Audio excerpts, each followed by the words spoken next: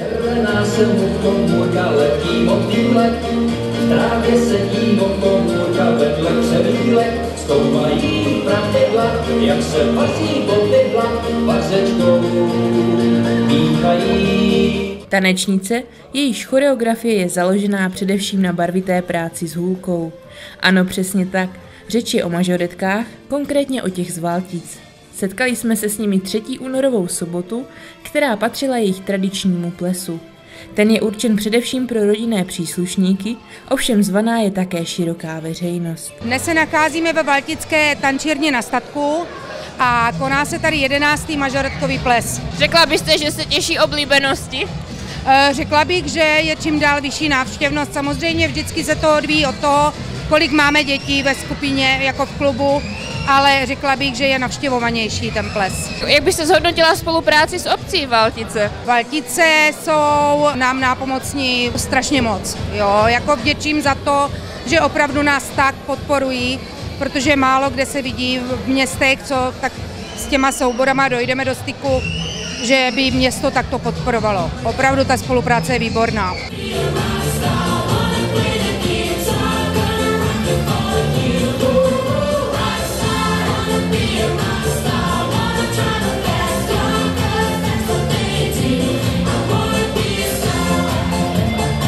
Viděli jsme dneska eh, děti, všechny, co máme v mažoretkách od 3 let až po velké seniorky do 25 let. Jak náročné bylo připravit tady toto přetančení? Eh, Tak víceméně se to připravuje od září. Eh, Některé skupinky jsou soutěžní, takže nás čeká ještě spoustu práce. V Dubnu máme první kvalifikační kolo, takže to musíme dopilovat a aby jsme mohli současnit soutěží. Co vás čeká v blízké budoucnosti? Eh, Tak děvčata samozřejmě se připraví na soutěž, to je pro nás stěžejní. Soutěže začínají v Dubnu, musíme projít kvalifikačníma kolama přes eh, finále republiky a doufám, že se nám, dobo, eh, že se nám podaří do, probojovat na mistrovství Evropy a samozřejmě na mistrovství světa, což je vrchol sezóny. Kdybyste měla zhodnotit, jak vlastně na tom mažoretkový sport dnes je, je, je to, to už rozšířený sport? Eh, Řekla bych, že v České republice je ten sport eh, eh, z těch evropských i světových států nejsilnější. Jo, je to už opravdu uznávaný sport a ta Česká republika má největší zastoupení.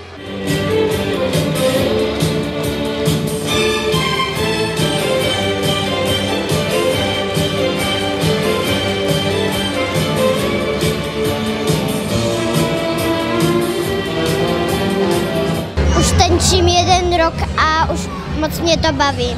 A jak se ti líbí na dnešním plese? Dobře, dělám mažoretky od tří roků. Baví mě to hodně. A jak se ti líbí tady dneska na plese?